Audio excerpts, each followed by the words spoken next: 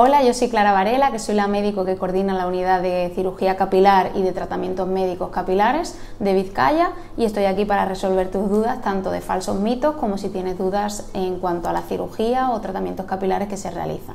En la alimentación sí que se podría decir que influye en la calidad más que en la calidad del pelo, porque una alimentación saludable es necesaria para que el organismo esté sano y al final eh, si la alimentación no es correcta sí que el pelo se puede ver afectado. Por ejemplo, cuando hemos tenido COVID se ha visto que una caída de los depósitos de zinc, por ejemplo, que es eh, algo bastante frecuente con el COVID, afectaba directamente al pelo. Esto si lo pasamos a la alimentación, si no estamos teniendo una alimentación completa, sí que el pelo se puede ver afectado que pierda calidad e incluso que haya más caída.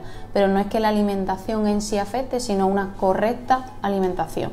El tabaco también afecta al pelo porque al final el tabaco va a afectar a una correcta oxigenación y a una correcta eh, función de los vasos, de los capilares entonces, si unos capilares están dañados por el tabaco y no se está haciendo una oxigenación correcta del organismo, pues al final el pelo también se va a ver afectado porque es un órgano vivo. Eso influye más en, el aspecto del pelo, porque al final el bulbo, el órgano vivo del pelo, está dentro de la piel y lo que hacemos tanto como puede ser con la forma de lavado o con tratamientos más agresivos tipo tintes, peluquerías, afecta más a la parte externa, a las células muertas que vemos, que al final es el tallo piloso, lo que llamamos pelo nosotros, eso no está vivo. Entonces todos los agentes externos que usemos van a afectar a esa parte. Por lo tanto, al pelo en sí no lo está dañando, pero a la calidad, al aspecto de ese pelo sí.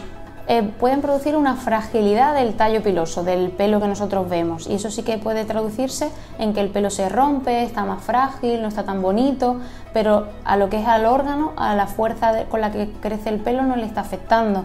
Pero al final, si estamos siendo muy agresivos, esa calidad de las células muertas que nosotros vemos sí se va a empeorar. Al final, el pelo tiene distintas capas nosotros estamos rompiendo esas capas que van a ir haciendo que se vaya abriendo como si fuese eh, si pensamos en las tejas de un tejado, si yo rompo esas tejas y se abre, eso se va a romper un poquito se va a ver de peor calidad. El pelo en su parte externa también tiene como unas tejitas que si yo estoy siendo agresiva y lo estoy partiendo con tintes o con cualquier producto externo que sea agresivo, se va a abrir y por eso vemos el pelo encrespado, el pelo como roto. Pero ya te digo, esos son agentes que van a afectar al aspecto del pelo, no a la calidad del pelo en sí, porque está profundo dentro de la piel y ahí no llegan los tintes. Sí que hay personas que notan como un par de meses al año más caída, que nosotros lo llamamos efluvio telógeno, que es una caída natural. Nosotros si pensamos en los animales también vemos que hay épocas de cambio de pelo. En los seres humanos es cierto que no cambiamos tanto el pelo, pero sí que hay una fase más acentuada de caída, como un par de veces al año y sobre todo la gente lo nota más en otoño. Pero es un efluvio telógeno normal fisiológico que no va a repercutir en que el pelo luego no se vaya a recuperar. O sea, es una fase más acentuada de caída dentro de lo normal. Eh, realmente hay diferentes tipos de alopecia. Hay unos tipos de alopecia que son más eh, frecuentes en hombres y otros más frecuentes en mujeres, pero al final tanto hombres como mujeres suelen sufrir en mayor o menor grado algún tipo de alopecia.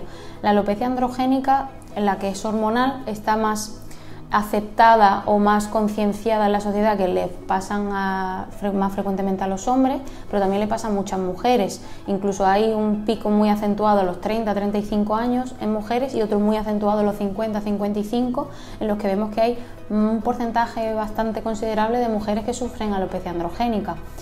Eh, que es la típica de los hombres. Em, también es cierto que hay un tipo de alopecia, por ejemplo, una alopecia frontal fibrosante, que son mujeres que van perdiendo hacia atrás el pelito, eso lo vemos mucho en mujeres de mayor edad, 60, 65, que la línea de implantación se le va haciendo cada vez más eh, hacia atrás.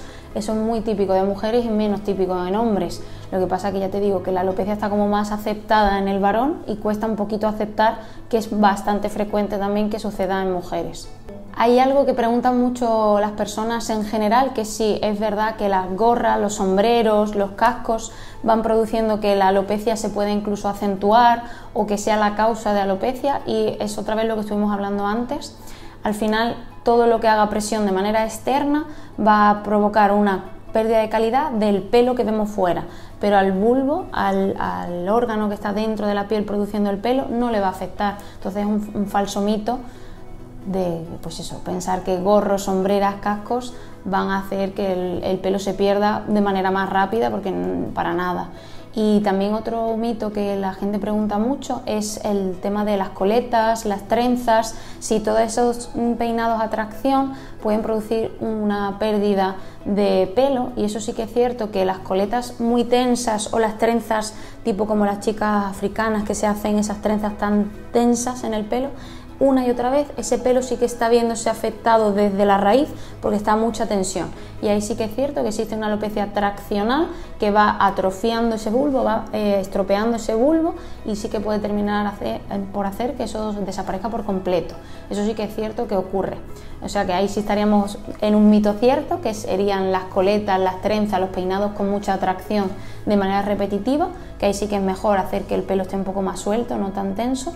Y un falso mito sí que sería el que hemos hablado de los cascos, las gorras, los peinados, pues eso, con pañuelos. Ahí sí que es cierto que, que para nada afecta al pelo.